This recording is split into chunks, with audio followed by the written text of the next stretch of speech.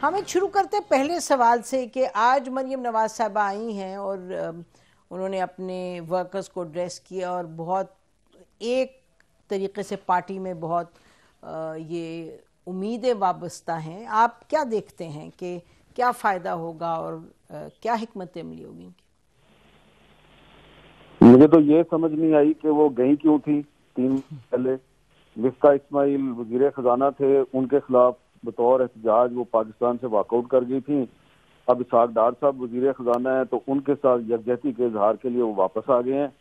तो मुझे तो समझ नहीं आई वो गई क्यों थी और वापस क्यों आई हैं। और फ़र्क क्या पड़ेगा?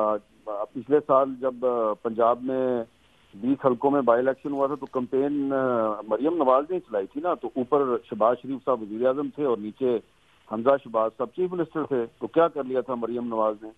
तो उस वक्त तो इतनी महँगाई नहीं थी, अब तो महँगाई बहुत ज़्यादा है। तो अब मरियम साहबा जो है, उनको चाहिए कि साथ अपने वालद साहब को भी बुला लें और दोनों मिल के जो है ना, वो आईएमएफ का मुकाबला कर लें। चीफ ऑर्गेनाइजर वो बन गई हैं सीनियर वाइस प्रेसिडेंट भी बन गई हैं। किसी अहदे पे इलेक्शन नहीं हुआ उनकी पार्टी में। तो मैं तो यही कहूँगा कि ये तीनों पार्टियाँ जो हैं, इनमें कोई फ़र्क नहीं है। इन तीनों पार्टियों में डेमोक्रेसी नहीं है। तीनों पार्टियाँ जो है, वो आईएमएफ की गुलामी करती हैं। और तीनों पार्टियाँ एक दूसरे की दुश्मन है और पाकिस्तानी अवाम की भी दुश्मन है। पीपल्स पार्टी पीएमएलएन और पीटीआई। जी आप बताएँ ना इन पार्टियों में कोई इलेक्शन होता है? कोई ये जो मरियम नवाज़ साहबा जी अहदे दो लेके आ गई हैं लंदन से लेके आई हैं। लंदन से दो अहदे लेके पाकिस्तान आ गई हैं सियासत करने के लिए। तो इसी तरह का इलेक्शन पीपल्स पार्टी में होता है इसी तरह का इलेक्शन पाकिस्तान तहरीक इंसाफ में होता है। और जो इमरान खान साहब ने साढ़े तीन साल में पाकिस्तान के साथ किया, वो शहबाज शरीफ साहब ने और सागदार साहब ने आठ नौ महीने में कर दिया। तो कोई फ़र्क है? ये तीनों पार्टियाँ थी ना जिन्होंने 2019 में जनरल बाजवा को एक्सटेंशन दी थी और इन तीनों पार्टियों ने मिलकर पार्लियामेंट से एक लॉ पास करवाया था। तो तीनों जो है वो बाजवा को एक्सटेंशन भी देती हैं, फिर तीनों मिलकर बाजवा को बुरा भी कहती हैं, तीनों मिलकर आई एम एफ़ की गुलामी भी करती हैं। तीनों में जमहूरियत नहीं है और तीनों कहती हैं कि हम जमहूरियत के लंबरदार हैं। तो क्या कर लेंगी मरियम नवाज़ साहब पाकिस्तान वापस आ आके आसमा।